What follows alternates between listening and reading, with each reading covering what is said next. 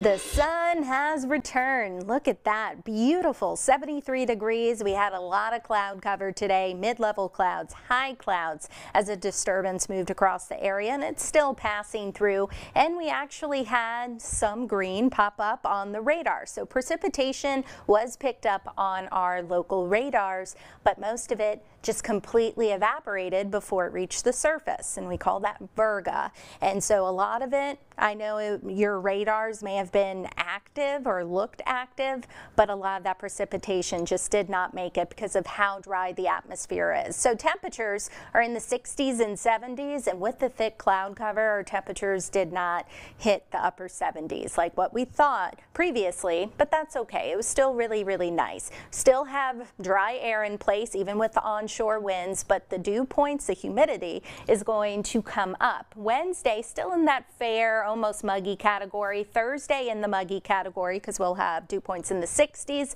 becoming swampy before a cold front moves in. But check out the weekend. The dry air returns, so a very rare uh, cool down in April. I will certainly take it. I'm sure most of you will too because there's going to be a lot of activities around the area this weekend.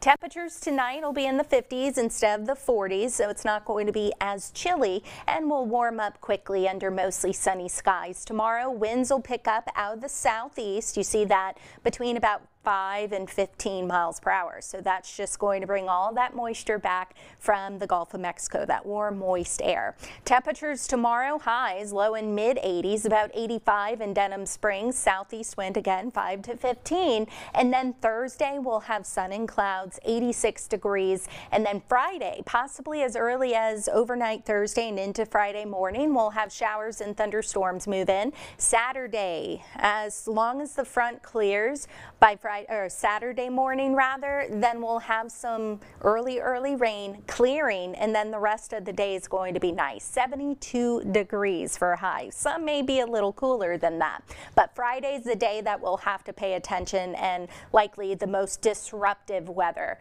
uh, for the next seven days. We have a level two risk for severe weather just northwest of us. That is all the way from southeastern central Texas all the way to the I-20 corridor in Jackson and more than likely we're going to be placed under a risk zone going forward. It's just more so to our northwest as of right now. Damaging winds would be our main concern. So here's a look at the GFS showing some early morning rain Friday, but the bulk of it moving into the afternoon, evening, and potentially with the cold front overnight. But the GFS has the cold front clearing prior to sunrise on Saturday. That's what we do want because of everything going on this weekend. Rain totals, half of an inch up to an inch and a half for our area with the highest totals may stay to our northwest. Something we're going to watch and we'll fine tune the forecast as we get a little closer. Just make sure you check back in with us on air and online. You can go ahead and download the free BR Proud weather app to stay ahead of any thunderstorms.